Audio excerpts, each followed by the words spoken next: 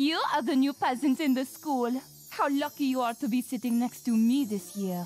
I'll let you give me all the compliments you want. Ugh, is Florencia already teasing the transfer student? Hmm. Pardon me.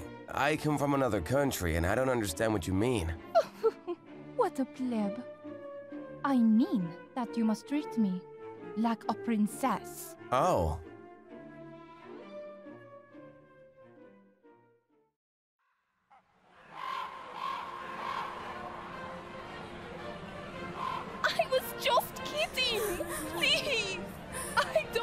To be a princess! The new French student is really cool. I know, right? I don't want to be a princess! Your students are about to decapitate Florencia? Yeah.